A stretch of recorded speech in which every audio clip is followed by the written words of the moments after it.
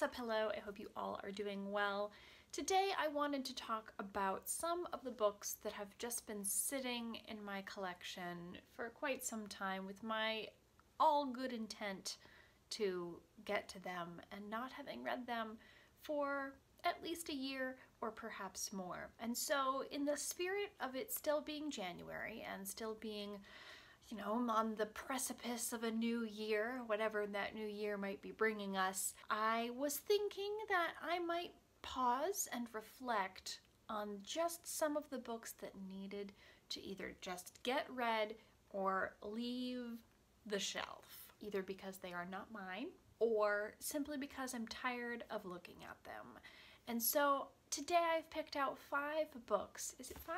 It's five. Five books that I absolutely desperately need to read because they have been on my shelf for a ridiculously long time. So the first book that I have selected is The Last Romantics by Tara Conklin.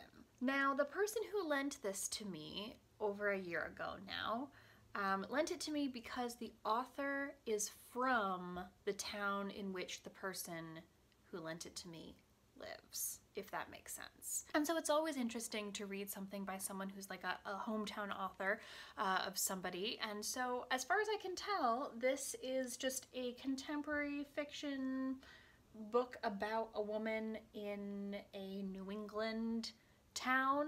That sort of vein so you know something i'm familiar with being a woman in a new england town and i guess it's summertime etc etc you can tell i really don't have any idea what this book is about uh, but it seems like it will be fast enough to read and I just haven't done it. It's just been sitting around and I've put it off for other things. So this will be on the list this year because I would like to make this go away and give it back to the person who loaned it to me. Next on my list is a nonfiction book that I'm actually looking forward to, and it is called The Lighthouse Stevensons by Bella Bathurst. And this book was loaned to me mm, two years ago um, by someone who I hope they realize that they should not have ever intended to get it returned to them. Uh, but there is a note that's in the front that says it's on loan. So I should probably read this. But this book is about the Lighthouse Stevensons, obviously, and the Stevenson family in Scotland, who were the first to really make serious innovations in the realm of lighthouses, like the kind, you know, that you see in the ocean.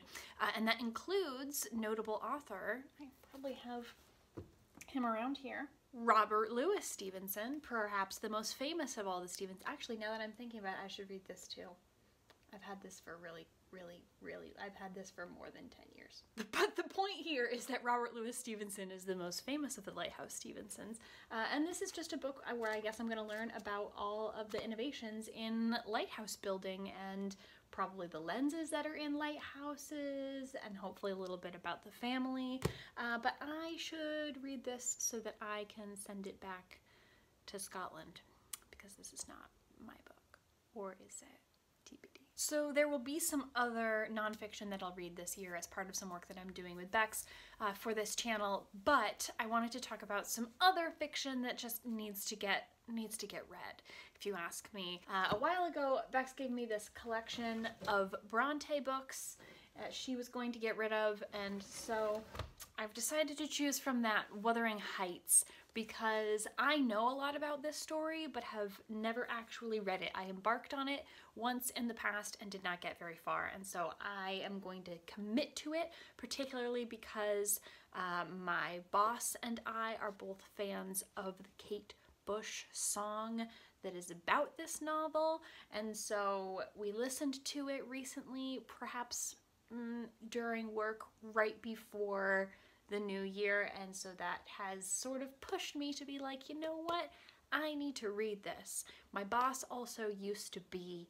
a high school English teacher so you can see why I had some encouragement here.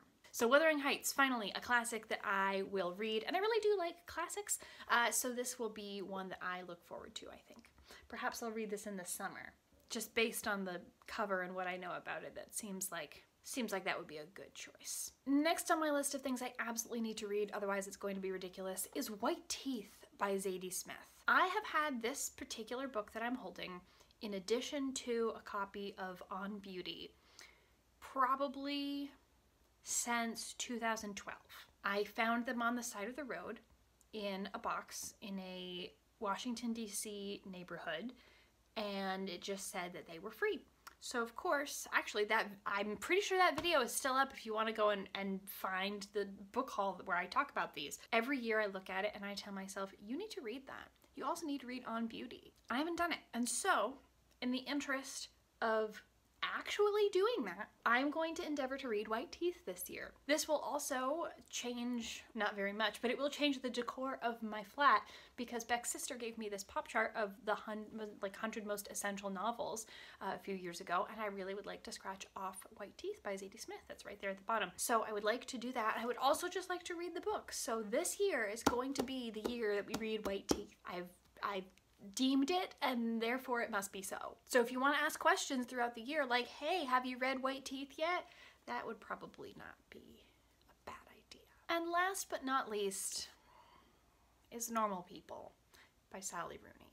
If you've followed us at all in the last year, you've heard me say this next bit dozens of times. But I first heard about this book on NPR, and they were doing a book review. And normally, when I hear about books that I'm interested in on NPR, I I go out and I find them. So I borrowed it from the library, and then I didn't get to it, and I had to give it back. And then months later, I borrowed it from the library again, and got to it kind of, and then had to give it back. And then I borrowed it as an audiobook, thinking to myself, you know, this might actually get you to finally make the time for it. I did not. So finally at the library book sale, I bought this copy for a dollar and I said I would rather have it be on my shelf where I've spent a dollar for it, bothering me until I finally read it than to just keep getting it from the library and wasting the 21 day period which I can have it where somebody else who could actually bother to read it would be reading it. So it's been sitting with me since, I don't know, probably for a year now. Um, and I have not read it. it you can tell because it's got all kinds of things on it. That's gross. Anyway, now that there is a like television adaptation of this book, and everyone seems to be talking about that still, uh, and comparing this to Conversations with Friends, which I've not read, I would like to to see what all of the hubbub really is about. I would actually like to read this book. Claire from Claire Reads Books has mentioned uh, sort of the, the Sally Rooney effect or like the Sally Rooney style of books recently. She has a great video that I'll link to about that, um, which I found really super interesting and I don't think that she's wrong. So I would like to see what she is talking also want to see what everybody else is talking about. Also, this just need, I don't know if you can tell from the tone of my voice, but I just need to get this read so that maybe I can give it back to the library and someone else can buy it for a dollar and go through the same experience that I have.